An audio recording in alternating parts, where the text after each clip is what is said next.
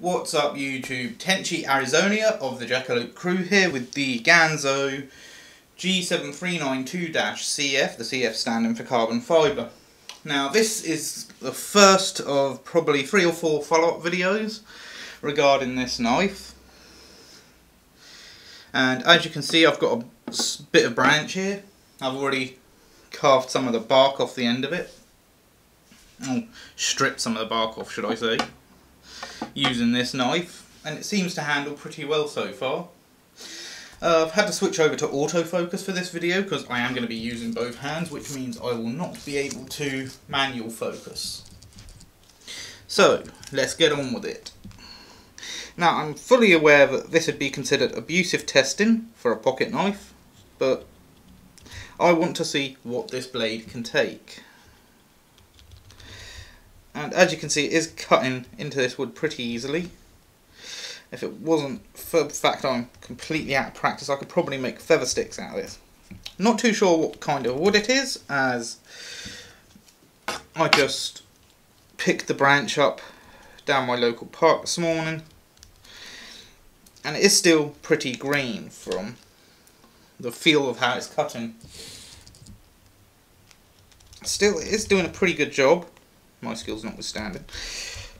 It has been a long time since I've actually done anything like this, so as you can see it's hogging off pretty easily. Now bear in mind, the blade on this knife is only 440 stainless steel, 440C to be precise, but yeah, it's doing a pretty good job.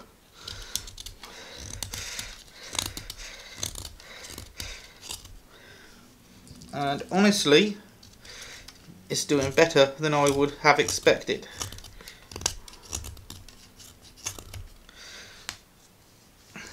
As you can plainly see I'm having no trouble whatsoever. Well, at least I hope you can see. I can't really tell if I'm in frame here.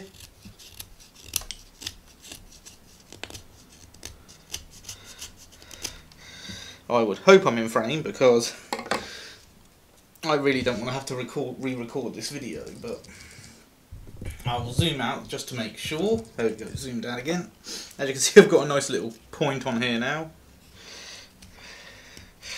Which wasn't my intention, it's just because I'm really not paying too much attention here. This is just to see what this blade can handle.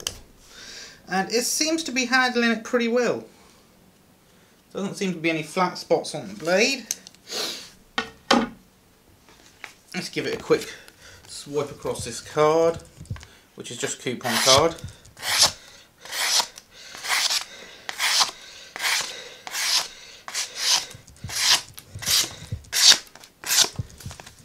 Yeah, as you can see, not really much problem. A little bit of snaggage, but yeah, still plenty sharp. Now, as I said, this little demonstration is way beyond what you should be doing with this blade. This is not a bushcraft blade. This is an everyday carry general purpose blade in my opinion. But it has handled cutting into this stick pretty well. All the cutting on this has been done with this knife. I'll actually go back to this and show you some more cutting with it. And I actually trimmed this stick down from a larger piece which I have sat in the corner for other tests. I'm going through a knot there which is why it's a little rough. But yeah, as you can see, this blade is having absolutely zero problems hogging wood out.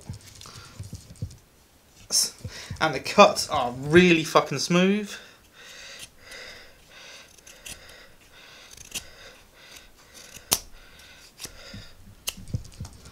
You just saw that piece of wood fly off there. Yeah, now this wood is still a little green, starting to get a bit punky in the middle, but the outside of it is pretty green. That's blatant tip abuse there, as you can see. the Ganzo is handling it nicely. Now, anyone who tells me that Ganzo blades are just cheap copies that can't take punishment is clearly, as you have seen from that demonstration, full of shit. Because my entire living room has bits of wood all over it right now from slicing at this blade. And this is one of the pieces it hogged off. So yeah, that is hardly a small piece of wood. That's significant considering the size of the branch. So yeah, and let's see, we're giving it a bit more abuse.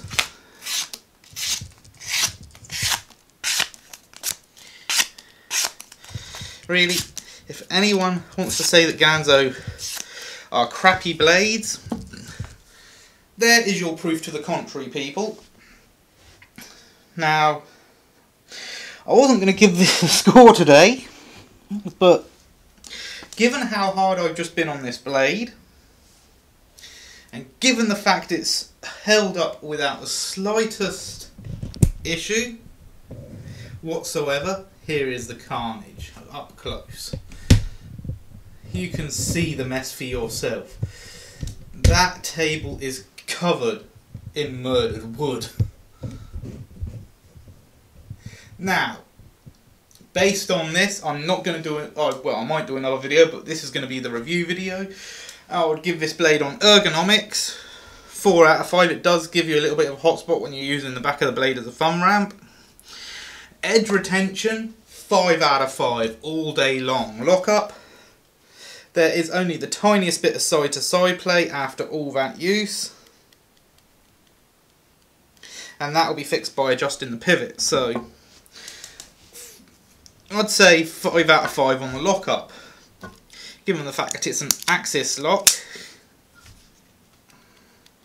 Yep, there's a little bit of side-to-side -side play, but that's to be expected. With the use I've put this through, I'll just adjust the pivot screws later on, and that side-to-side -side play will be gone, non-existent. So lock up 5 out of 5. Build quality, I'd say 5 out of 5. It does seem to have a coating over the stonewash, but it does appear to be handling well.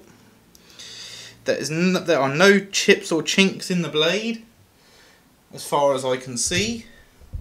And I'll zoom in for you to see there. As you can see, the edge is absolutely flawless. Not a single chink in that edge. So yes, I feel confident in saying that this blade belongs in anyone's collection. 5 out of 5 without a doubt. This is the review of it and the torture test of it. You've seen what it can withstand. Judge it for yourselves. I'm pretty sure no other YouTuber has done what I have just done with this blade. They would probably consider it gross abuse, but hey, I keep it real here. So, that's all for today. And remember, be good to each other.